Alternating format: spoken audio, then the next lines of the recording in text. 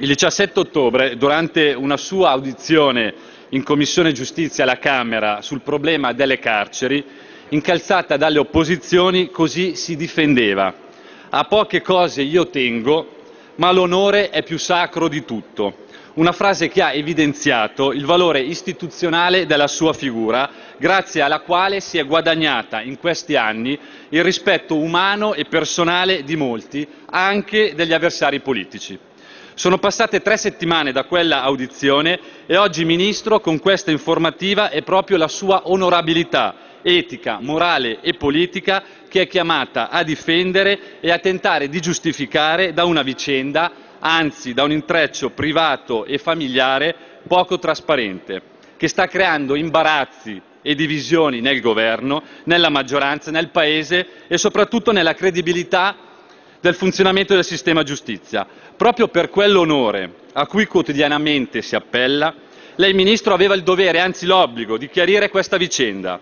Anzi aveva l'obbligo di essere convincente, di fugare ogni minimo dubbio e ogni legittimo sospetto. Aveva il dovere di chiarire l'opacità e l'ambiguità che in questa circostanza si è venuta a creare tra il suo ruolo pubblico di Ministro e la sua sfera privata, aspetti, quello pubblico e quello privato, che purtroppo si sono mescolati e intrecciati alimentando sospetti e polemiche. Aveva il dovere di chiarire il senso delle telefonate intercettate e intercorse con la famiglia Ligresti. In particolare, Ministro, come anche lei ha ricordato, la telefonata del 17 luglio che lei ha fatto nell'immediatezza degli arresti, esattamente il giorno stesso in cui venivano fatti gli arresti della famiglia Ligresti. Un'affermazione grave e decisamente inopportuna.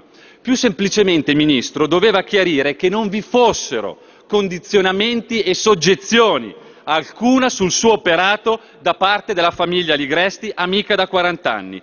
Questi erano i quesiti, questi erano i nodi che andavano sciolti e ascoltando la sua informativa le dico che le pezze giustificative che ha portato sono deboli, sono carenti, le ombre purtroppo rimangono. Ministro, il fatto che abbia sensibilizzato al DAP la situazione di Giulia Ligresti e poi altri 110 casi simili non depone a suo favore. Se il Ministro della Giustizia deve attivarsi e telefonare personalmente all'amministrazione penitenziaria per sensibilizzare lo stato di salute di un detenuto, questa è la conferma triste e drammatica che la prima persona che ha la consapevolezza che il sistema non funziona è il Ministro stesso. Che bisogno ha il Ministro della Giustizia di chiamare il DAP se la decisione sulla scarcerazione la prende il magistrato? Delle due l'una, Ministro. O il Ministro non si fida dell'amministrazione penitenziaria della giustizia, oppure non si fida dei magistrati chiamare, chiamati a decidere sulla scarcerazione. Entrambe le circostanze sarebbero comunque gravi. Ancora, Ministro, le chiediamo una cortesia. Anziché fare 111 telefonate per la sorte dei detenuti. Perché non ha fatto una telefonata, almeno una telefonata anche alle vittime dei reati che magari soffrono o sono in depressione tanto quanto un detenuto? Il problema delle carceri, Ministro, cogliamo l'occasione di ribadirglielo, non si risolve con gli indulti, non si risolve con le amnistie, con gli atti di clemenza generalizzati e nemmeno con gli indulti mascherati come avete fatto sino ad oggi con i provvedimenti di svuota carcere. Esistono i detenuti e con loro i diritti che vanno necessariamente e doverosamente tutelati, ma esistono anche le persone offese, di cui nessuno mai si interessa.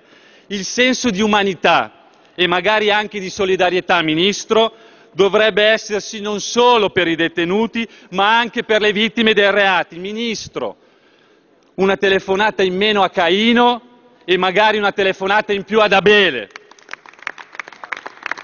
Concludo, Ministro, al netto di questa vicenda, per la Lega quello che rimane è il giudizio di totale bocciatura politica e di fallimento senza appello e senza ma dell'operato del governo e suo in materia di giustizia. Dopo sette mesi, e concludo, dopo sette mesi nessuna riforma della giustizia è stata avviata. Nessun miglioramento del funzionamento e dell'efficientamento del sistema giustizia è stato portato avanti. Avete proposto e approvato con la vostra maggioranza solo svuotacarceri e indulti mascherati esattamente il contrario di quello che chiede un Paese che crede ancora nel valore dell'onore. Per questi motivi, Ministro, la Lega le chiede di fare un passo indietro. Grazie.